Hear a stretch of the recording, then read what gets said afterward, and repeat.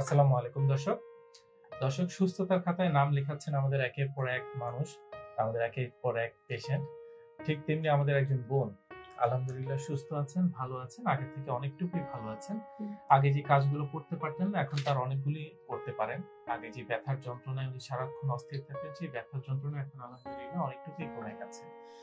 So হয়তো আগামীকালকে উনি চলে যাবেন। সো আজকে একটু এসেছি ওনার সাথে কথা বলার জন্য। তার আগে দর্শক একটু আসুন একটু জেনে নিই যে প্রথম দিন যখন উনি এসেছিলেন কি অবস্থায় এসেছিলেন আমাদের কাছে সেই ভিডিওটা একটু দেখে আসি আমরা। আসসালামু আলাইকুম। আসমা বেগম আহমেদ গাজীপুর থেকে আসছি। আমার বয়স? তিরিশ বছর। ব্যথা প্রত্যেকটা জয়েন্টে দুই হাঁটুতে প্রত্যেকটা জয়েন্টে ছোট অংশ। আঙ্গুল দশ বছর আগের থেকে দশ বছর চলতেছে আর কি ব্যথা। প্রথম দুই হাঁটুতে পরে এখন আস্তে আস্তে এখন প্রত্যেকটা জয়েন্টে সরাই গেছে। সব প্রত্যেকটা জয়েন্টে ছোট করে যে হাতের আঙ্গুল পায়ের আঙ্গুল বাঁকা হয়ে গেছে। বাঁকা হয়ে গেছে আঙ্গুল বাঁকা হয়ে আরও গেছে। মোটা ছিল। এখন তো আটতেও পারে না। ঠিক মতো আটা লাগে। এই যে পায়ের আঙ্গুল। এরকম সোজা ছিল বেঁকে গেছে। সবাই রিউমান্টিক আর্থার রস এই কথাই বলে। ব্যথা শরীরে। চার পাঁচটা হাসপাতালে গেছি ফেনী হাসপাতালে নিছি। হাসপাতালে অনেক হাসপাতালে নিয়েছি কিন্তু ব্যথা ওই ওষুধ দিয়ে ডাক্তার অনেক পরীক্ষা নিরীক্ষা করছে তার ওষুধ দেয় কয়দিন ভালো থাকে।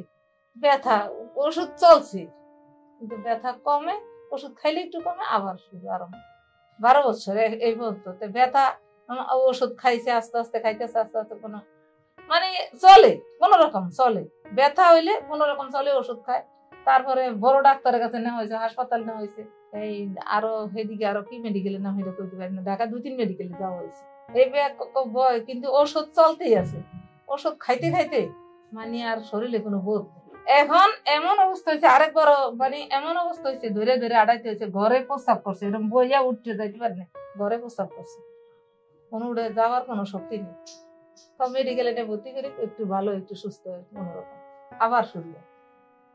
এখন লাস্ট এই মেডিকেল আনছি, যদি আল্লাহ সুস্থ করে দেয় এটাই মেডিকেল তো লইয়া ঘুরতেই আছি, কোনো বেকার আছি আমরা আমরা তো ঘুরতেই আছি। এখন মনে করেন হাঁটতেই পারে না হাঁটু এমন অবস্থা দেখা। নিচে বসতে পারে না নিচে বাথরুমে বসতে পারে না ধরে উঠাইতে ধরে বসাইতে দর্শক দেখলেন তো। আসুন দর্শক আজকে কেমন আছেন? আমার বোনের কাছ থেকে একটু জানি। আসসালামু আলাইকুম বোন। আসসালামু। আলাইকুম। ওয়ালাইকুম আসসালাম। বোন কেমন আছেন আজকে আপনি? আছি আলহামদুলিল্লাহ একটু আমরা যখন প্রথম আপনাকে দেখেছিলাম দেখেছিলাম যে আপনার হাঁটা চলা করতে প্রচণ্ড রকম কষ্ট হয় হ্যাঁ। একদম হাঁটতেই পারেন না। এখন কেমন আপনার হাঁটা চলা? এখন আগের থেকে একটু স্বাভাবিক হয়েছে আর কি। স্যার বলছিল আর কি পনেরো দিন থাকার জন্য। পনেরো দিন থাকতে পারতাছি না এই জন্য আগামীকালকে আমরা দশ দিন হয়ে চলে যাব। এখন আগের থেকে একটু ভালো। আচ্ছা এমনি আপনার সারা শরীরে যে প্রচণ্ড রকম ব্যথা ছিল সেই ব্যথাগুলোর কি অবস্থা? এখন একটু কম। আগের থেকে ব্যথা অনেকটুকুই কমে গেছে। তো স্যার হয়তো আপনাকে কিছু ব্যায়াম কিছু নিয়ম কানুন হয়তো শিখিয়ে দিবেন সেই ব্যায়ামগুলো হয়তো করলে হয়তো আপনি আলহামদুলিল্লাহ এখন হয়তো আগের জীবন হয়তো আবারও ফিরে যেতে পারবেন। হ্যাঁ দোয়া করেন সবাই। অবশ্যই। বাট এমনি আলহামদুলিল্লাহ ওভারঅল যদি আমরা হিসাব করি যে এই যে আপনি চিকিৎসা নিয়েছেন চিকিৎসা ব্যবস্থাটা এখন আপনি ওভারঅল আপনি কেমন আছেন? ভালো আছেন কি খারাপ আছেন? ইনশাল্লাহ ভালো আছে। অসংখ্য দর্শক আছেন যারা জানেন না। তাদের জন্য যদি আপনি আপনার একটা মতামত দেন যে এখানে চিকিৎসা সম্পর্কে যদি একটু বলেন যে তাদেরকে এখানে আসা উচিত কি উচিত হ্যাঁ আমি তো বলতেছি সঠিক চিকিৎসা নেওয়ার দরকার।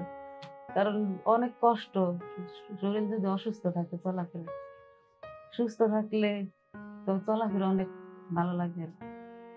এখানে চিকিৎসা করে। ধন্যবাদ আপনাকে। দর্শক শুনলেন। এরকম অসংখ্য মানুষ আছেন সুস্থ হচ্ছেন ডে বাই ডে দোয়া করবেন আমার এই বোনটির জন্য যাতে উনি আজীবন এরকম হ্যাঁ। সুস্থ থাকেন ভালো থাকেন। আসসালামু হ্যাঁ। আলাইকুম। আপনাকে অসংখ্য ধন্যবাদ বোন। আসসালামু আলাইকুম। ওয়ালাইকুম সালাম আসসালামু আলাইকুম। আমরা জানি আপনার প্রিয়জন আপনার জন্য কতটা গুরুত্ব বহন করে। প্রপার ডায়াগনোসিস কনসালটেশন পেইন ও প্যারালাইসিস চিকিৎসা পুনর্বাসন আমাদের সব আয়োজনই সব সময় আপনাদের জন্য চব্বিশ ঘণ্টা খোলা। আমরা চাই না আপনারা বারবার আমাদের কাছে ফিরে আসুন তবুও আমরা আছি সব সময় সর্বদা আপনাদের পাশেই। ডিপিআরসি হসপিটাল লিমিটেড আস্থা বিশ্বাস ও নির্ভরতায় অবিচল।